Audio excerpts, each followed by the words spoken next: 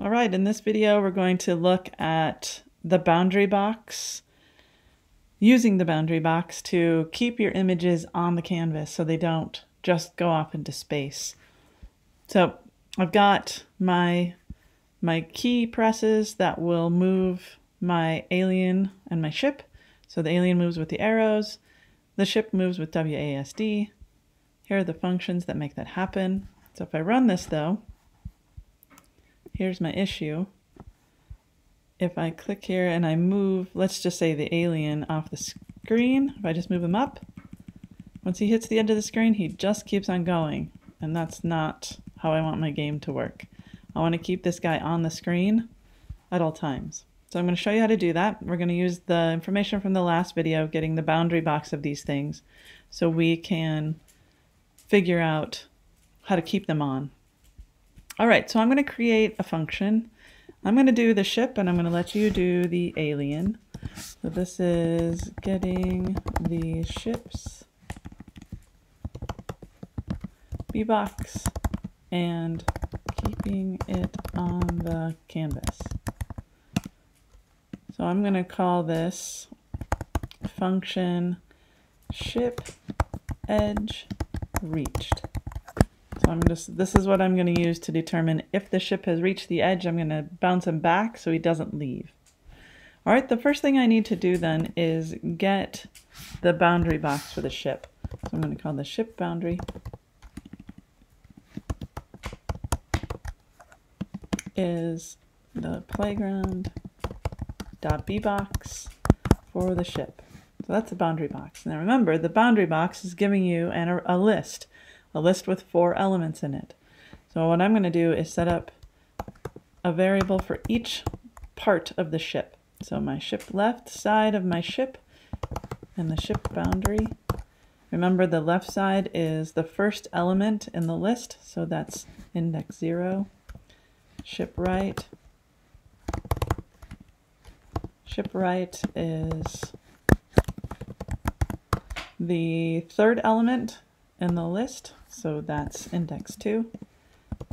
Ship top is the second element in the list, so that is index 1, and then finally ship bottom is the fourth element in the list, so that is index 3.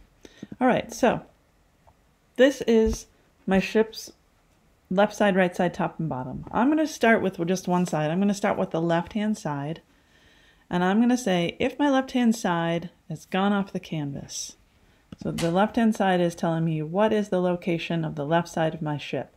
So I'm going to do an if statement. I'm going to say if my ship left is less than 0, because 0 is the left edge of my screen.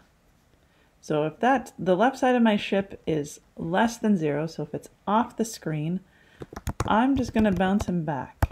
Playground uh, move. I'm going to move the ship 10 units back.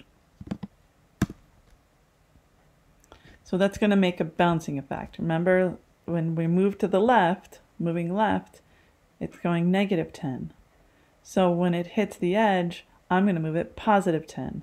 So it's just going to keep bouncing off the edge. Let's try it with the ship. Oh, I can't do that yet because I've created this function, but I haven't called the function yet. This gets slows things down just a little bit, but what I'm going to do is call this function every single time the ship moves. Whether I'm moving up, down, left, or right, when the ship moves, I'm going to move it 10 units, and then I'm going to call the ship edge reached function. So it moves, I go check. It moves, I go check. It moves, I go check every time. Have I reached the edge? Have I reached the edge? So it slows things down just a little bit, but it keeps your your stuff on the screen. Okay, so every time the ship moves, I'm going to call the edge reached and it's going to check. Have we hit the left side yet? And I'll add more to this. We'll get the, the top and the right and the left and all that. So I'm going to run this first and show you what it looks like. So if I enlarge this a little bit, click here, I'm going to move the ship to the left-hand side. So I'm moving him to the edge of the canvas. That's the only thing we're checking right now. And when I reach the edge of the canvas on this left-hand side, nothing's happening. So maybe zero was not big enough, depending upon how big your screen is. Zero is not big enough because I can see that it looks like it's hitting the edge, and I'm hitting the A button, trying to make it go left, and it's not happening. So it didn't quite reach the edge, maybe like less than negative 10, but you get the idea. You can play around with those numbers later. And you'll just keep going with this. So now we'll just say, all right, let's check the top side. Else if the ship top is less than zero, playground dot move. I'm going to move the ship, and I need to move. So when I hit the top, that means the ship is moving up at this moment. So if we look down here, if we look down here, when the ship was moving up, the y value is negative.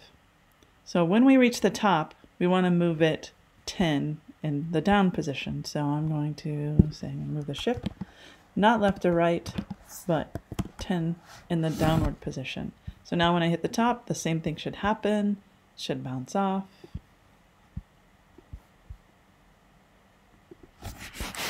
Okay, going to the top. And I've hit the top. I'm hitting the W key. I'm hit I've hit the top. I won't go any further. It's bouncing me back. All right. So your goal then is to keep both of your images on the screen.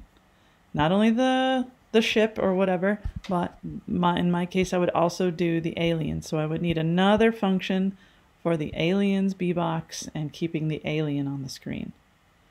So that's your goal. That's going to be this assignment is to keep both of your images from leaving either the left, right, or top and bottom boundary.